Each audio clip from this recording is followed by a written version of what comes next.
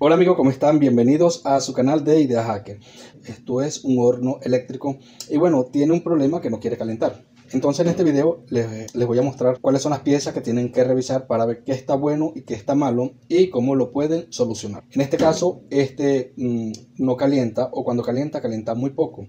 Vamos a empezar desarmando el aparato. Como les dije, esto es un horno eléctrico y trabaja con 110 voltios. La mayoría pues tiene tornillos por la parte trasera como este que tiene varios, y a veces tienen tornillos también por la parte de abajo. Entonces primero vamos a desarmarlo.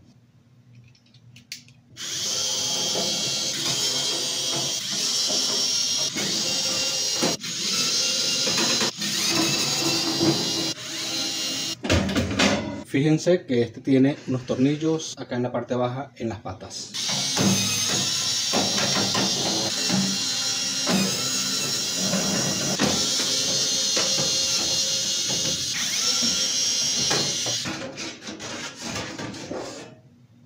Ok amigos, entonces fíjense, este sería el circuito de este horno eléctrico. De verdad es un circuito muy básico, muy simple. Simplemente tienen que ver eh, cada una de sus partes, separarlas y ustedes se van a dar cuenta que es muy fácil de revisar y de reparar. Eh, de hecho este aparato ya fue modificado, eh, ya veo que hay cosas que no van como deberían ir, pero bueno, a la final se puede probar las piezas, cuáles están buenas y cuáles están malas. Yo les voy a explicar cómo funcionan cada una de ellas para que ustedes vean que es muy fácil de revisar y de checar. Por ejemplo, fíjense, este horno es de cuatro resistencias. Tiene dos arriba y dos resistencias abajo. Esta sería una, esta sería la otra. Esta que está acá es otra resistencia y esta que está acá es otra resistencia. La resistencia, por ejemplo en este caso, esta y esta están unidas en serie. Son dos, pero a la final se transforma en una sola. Igualmente la de abajo son dos resistencias, pero al final están unidas en serie y se transforma en una sola resistencia. ¿Cómo sé que estas resistencias están en serie. Bueno, si le doy la vuelta, fíjense que este punto y este punto están unidos por una lámina, por un metal. Bien, voy a acercarlo un poquito, fíjense. Ahí ven, tiene unas tuerquitas que unen la resistencia. Igualmente, esta parte acá abajo. Bien, están unidas por medio de una lámina de metal. Esto que ven acá es el resorte de la compuerta. ¿Ven? Muchas veces este resorte se oxida y se rompe y la puerta se cae y se queda abierta y no quiere cerrar. Bueno, si tienen ese problema, simplemente cambian este resorte. Es muy fácil, simplemente lo quitan y llevan la muestra y lo ponen. Vean cómo está en este caso, ya que todos los mecanismos no son iguales, pero tal vez se consigan con algo como este. Ahora bien, ya sabemos entonces que la resistencia está en serie y ya sé por qué están en serie. Eso me lleva a girar nuevamente hacia acá y una de las primeras cosas que podemos hacer es revisar si las resistencias están buenas. Porque si un horno deja de calentar, pueden ser las resistencias. Y como esta resistencia está en serie, si una se daña, la otra no funciona. Así de sencillo. Entonces hay que probarlas por separado para ver si están buenas. Eh, lo más recomendable para probar las resistencias es quitar los conectores, los cables, mejor dicho, y medirlas eh, de formas individuales. ¿Cómo lo vamos a hacer? Con un tester y lo ponemos en modo de continuidad. Entonces vamos a quitar unas pequeñas tuercas, quitamos estos cables y vamos a medir esta resistencia para ver en qué condiciones están. Bueno, por acá tengo una pequeña pinza, espero que me sirva.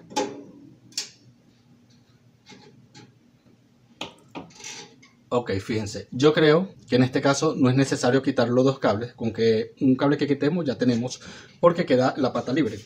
Ahora fíjense, van a agarrar un multímetro, un tester, que por cierto es bueno que compren estas herramientas, porque este aparato puede costar 20, 30 dólares. En lo que ustedes hagan unas reparaciones, ya este aparato se paga solo. Se ahorran el dinero y el aparato le queda. Entonces, fíjense, eh, lo ponemos modo continuidad, lo ponemos para acá que suene. Y este sería un extremo de la resistencia. Y del otro lado, ponémoslo así, está eh, la otra punta para medirnos, la que está de este lado. Entonces, podemos medir primero una resistencia. Ponemos una de las patas del tester acá fíjense la puse, giramos, así, ahora ponemos el teste en la otra patita y esto debería marcar continuidad, ponerlo acá, que lo vea mejor. Bien, que marca 9.6 kiloohmios. Este es el valor de la resistencia. Esta resistencia, como estoy midiendo una sola, simplemente estoy midiendo esta. Ahora la corriente o la continuidad pasa hacia acá y sigue hacia el otro lado. Eso quiere decir que como la resistencia está en, en serie, si las mido juntas, si mido de aquí a aquí, Entre las dos deberán sumarse 9 y 9. Eso quiere decir que acá debería dar un valor aproximadamente de unos 20 kiloohmios. Vamos a ver. Y efectivamente, ahí lo pueden ver, 20 kiloohmios. Entonces, según estas dos resistencias están funcionando, tienen continuidad. Ya sabemos que las resistencias de, arriba están funcionando. Otra forma de probar esta resistencia es colocando un cable acá, otro cable acá, eh, digamos un enchufe, un cable acá, un cable acá, y lo conectamos a 110 voltios. Eso debería permitir que las eh, resistencias se calienten. La pueden observar y cuando ya estén al rojo vivo desconectan y ya tienen certeza de que las resistencias están funcionando. Otra cosa que también hay que probar en la resistencia es que no tengan fuga. O sea, como es fuga, que no tengan eh, no estén ida a tierra. Porque si tienen fuga, el aparato empieza a pegar corriente o electricidad. Entonces, una forma es poniéndolo así y tocando el metal y no debería marcar nada en el tester. Podemos subir la escala a megaohmios, kiloohmio, ok, M de megaohmio. Ponemos acá y buscamos fuga y no debería marcar. Es más, no hay que tocar el teste, fíjense, el teste se pone muy sensible. Y no hay que tocar eh, las patitas, simplemente así y en tierra. Fíjense, no hay fuga. Y de este lado también. Ahora si la ponemos acá, obviamente tiene que marcar continuidad. Fíjense, 19. ¿Ok? Quiere decir que esta resistencia está en buen estado. Ahora vamos a revisar la de abajo. Y es el mismo proceso. La resistencia de abajo está en serie.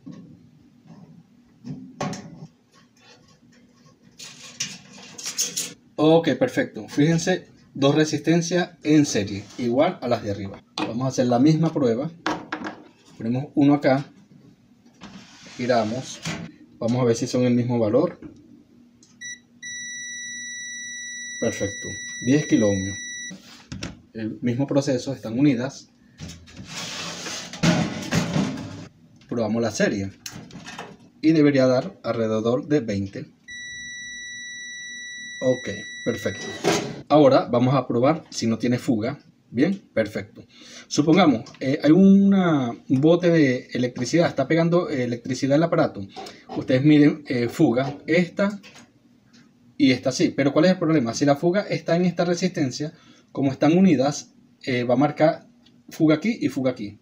Para saber si es esta o esta la de la fuga, hay que quitar la serie, hay que romper la serie que sería el puente que está acá atrás, recuerden, vamos a ver, tienen que quitar esta barra y de, de, esa manera van a aislar esta de esta y van a saber si la fuga de electricidad está en esta resistencia o en esta, es probando esta con tierra y luego esta con tierra, porque esta barra ya no va a estar y de esa forma las prueban de forma individual para saber dónde está la fuga de electricidad. La que tenga la fuga simplemente la quitan y compran una nueva. Y bueno, para quitarlas fíjense que por ejemplo en este modelo hay un tornillito acá. Si este tornillo uno lo quita, seguramente esta resistencia se puede sacar. Vamos a ver de todas maneras la resistencia por dentro. Abrir acá. Muy bien. Fíjense, estas serían las resistencias, las de abajo. Estas son las de arriba. Y los tornillitos para quitarlas están acá. A ver. Esos son los tornillos que sostienen la resistencia en su lugar. En el caso que la quieran cambiar, simplemente quitan esos tornillos.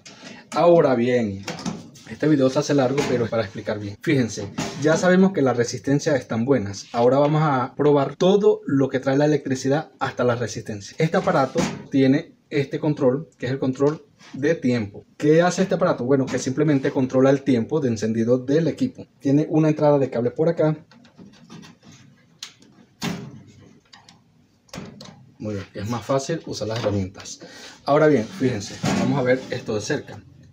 El switch, el temporalizador, tiene dos patitas, entrada y salida, así de fácil. Fíjense qué vamos a hacer, vamos a probar si hace un puente de este punto a este punto. Agarramos un cable acá, bien, y otro cable acá. Este cable ahora viene del temporalizador y lo ponemos acá, y este otro acá. Bien, para que el tester funcione tiene que unirse las puntas. Ahora bien, lo encendemos y fíjense. Bien, que marca 000, eso significa cero resistencia.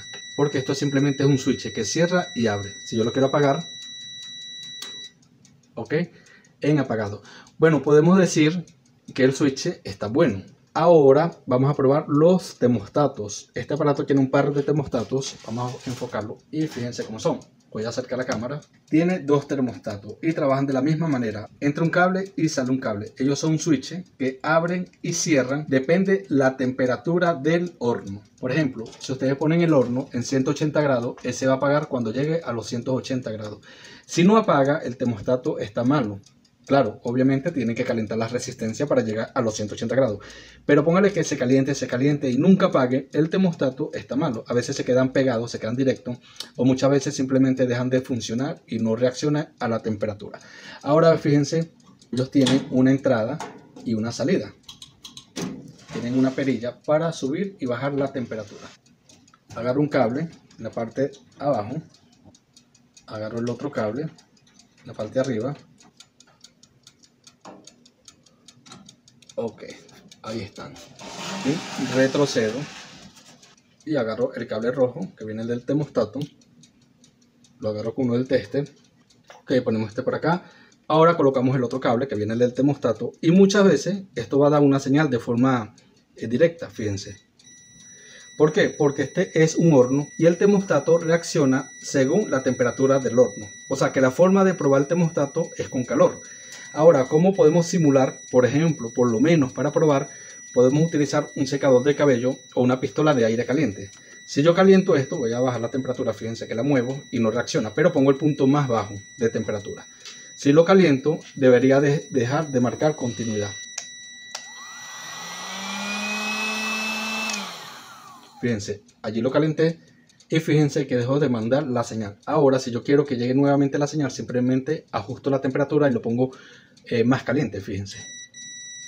Ahí funcionó, si lo caliento. Se desconectó. Le puedo dar más temperatura.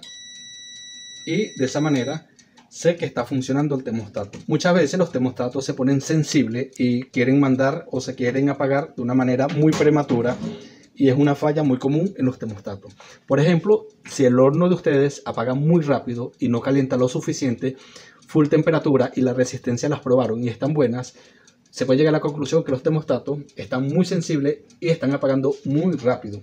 Vamos a probar ahora el termostato de arriba. De igual manera, igual el termostato tiene una entrada y una salida. Eso es indiferente, entrada, salida, arriba, abajo, es igual. Cada termostato es individual. Fíjense, eh, suena porque ya tengo los cables puestos, uno acá y el otro acá. El termostato está mandando la señal, se lo pongo en mínimo o en máximo, no reacciona. Reacciona si le pongo calor.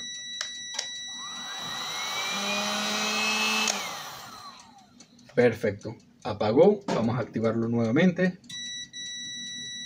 Fíjense, si lo apago, ya como tiene un poquito de temperatura, reacciona al switch porque hay un punto ya que está ahí como caliente. Le pongo la máxima temperatura y si lo caliento pues dura más para reaccionar porque está como máxima temperatura.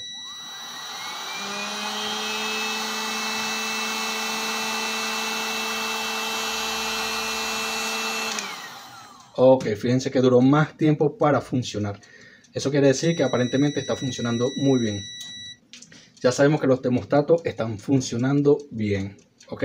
Ahora voy a explicar cómo van los cables de alimentación hasta las resistencias. Lo primero que tenemos que hacer es ubicar los cables de entrada de electricidad. En este caso estamos hablando del enchufe. Pues el enchufe, como tiene dos patitas, uno acá y este la otra, lo primero, bueno, probamos así, si no hay continuidad y en tierra, ¿ok? No hay continuidad. Ahora bien, vamos a ubicar cuál de estas dos patas viene siendo rojo, que es este cable, fíjense que viene del enchufe, y el otro cable sería el azul. Fíjense, tengo uno acá y vamos a probar primero con el azul. Nada. Entonces debería ser el cable mm, rojo. Vamos a ver. Efectivamente, este pin está bueno, aparentemente, no está partido. Ahora giramos esto acá así y decimos que entonces este viene siendo el cable azul. Claro, o es lógico, ¿no? Ahora bien, ya sabemos que los cables del enchufe están buenos. y que uno es el rojo y el otro es el azul. Vamos a empezar con el cable azul. Fíjense, el cable azul viene directo del enchufe. Tiene un ojito de terminal y tiene otro ojo de terminal. Este cable iba acá en esta resistencia, así. Y el otro ojito iba en la resistencia de arriba, de esta manera. ¿Ven? Vamos a poner las tuerquitas.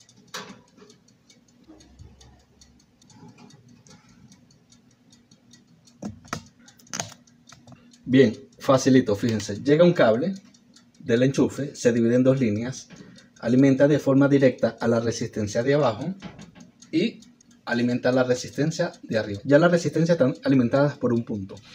Otro cablecito sale, fíjense, y alimenta a este pequeño bombillo 110 voltios de forma directa, fíjense. Llega el cable, alimenta arriba o abajo y alimenta arriba y alimenta al bombillo. Ahora falta el otro cable del bombillo que sería este y también falta el cable que alimenta acá y a la resistencia acá arriba, ¿cierto? Tenemos entonces el otro cable que viene del enchufe y es un cable rojo. Ese cablecito rojo lo ponemos acá en el reloj. Bien, eso quiere decir que el cable que viene del enchufe, el rojo, todavía no ha llegado acá. Para que llegue tendremos que girar y ahora el cable rojo empieza a salir por la otra pata del reloj, que en su defecto viene siendo este terminal. Bien, o este cable. Fíjense que tiene agarrado el otro cablecito del bombillo. Si yo coloco esto acá, en la otra patita, fíjense tan fácil como esto, que ahora el cable rojo que viene del enchufe entra al reloj, sale y alimenta al bombillo y también sale por este otro cable. Y el bombillo a su vez está agarrado el azul de forma directa. Eso quiere decir que cuando yo giro acá, el bombillo enciende. Pero todavía no encienden la resistencia porque este cable no ha llegado a la resistencia. ¿Cómo hacemos para que ese cable llegue a las resistencias? Bueno, yo lo puedo poner acá así. Bien. Y lo coloco acá. Ok, entonces solamente dejé trabajando un termostato. Fíjense que el cable que viene del reloj entra al termostato. El termostato manda la señal por el cable de arriba, alimenta a este para acá, fíjense, y alimenta a la resistencia de abajo por medio de este cable. Entonces, en pocas palabras, el cable rojo entra, sale, entra y sale para acá y sale para acá, mientras que el azul está de forma directa.